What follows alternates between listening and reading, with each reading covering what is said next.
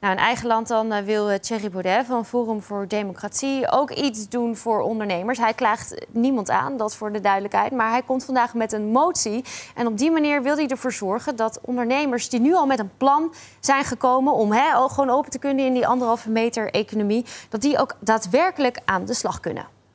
De ondernemers staan er niet goed voor in Nederland. Het kabinet vergeet ze eigenlijk te beschermen op manieren waarop dat wel zou kunnen. Met maatwerk, met creatieve oplossingen en met steun voor ondernemers die buiten het loonkostencompensatiepakket vallen. We gaan een motie indienen vandaag in het debat om te proberen dat op te rekken, om het kabinet meer te laten doen voor juist die groep die volledig buiten de boot vallen, die niet of niet veel heeft aan de loonkostencompensatie en de ondernemers die via maatwerk in horeca, kappers, sportscholen enzovoorts precies kunnen voldoen aan de richtlijnen van het RIVM en toch voor een deel weer open kunnen.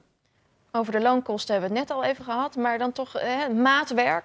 Had u, bent u het met, met Baudet eens dat dit moet gebeuren? Ik ben in de kern met hem eens. Eh, wat hij zegt is waar ik net op doelde, dat een aantal branches heeft laten zien dat ze met goede protocollen veilig kunnen werken.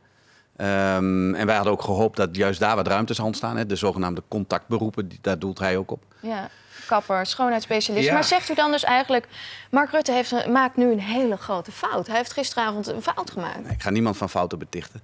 Nee, het is nee maar u zei eerder wel van, we moeten geen spijt krijgen dat we de economie hebben laten liggen. Dus nee, kijk, het is een, het, het is een afwegingskader. En, um, en, en ik ben van de economie, dus ik geloof dat iets meer ruimte uh, bieden aan die economie en ondernemers in die economie ook de samenleving verder helpt. Want het geeft het geeft een beetje lucht. Het, het, zorgt dat we weer de goede kant op bewegen.